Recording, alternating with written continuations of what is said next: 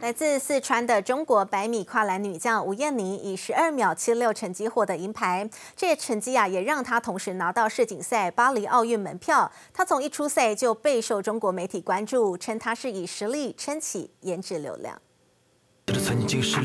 来自四川的中国百米跨栏女将吴艳妮以十二秒七六的成绩夺得银牌。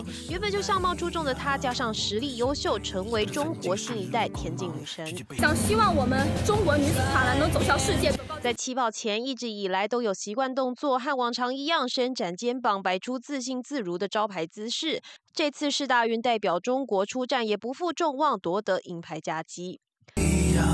在百米跨栏的项目，以十二秒七六的成绩夺得银牌，让他同时拿到世锦赛和巴黎奥运的门票，同时也把自己送到众人眼中。高挑长腿加上精致的五官跟甜美的笑容，不同演艺圈的飒爽气质让她脱颖而出。媒体也形容她是以实力撑起颜值流量，又美又飒的中国新田径女神冲上热搜，成为二零二三年世大运外界关注的焦点之一。记者张平斌。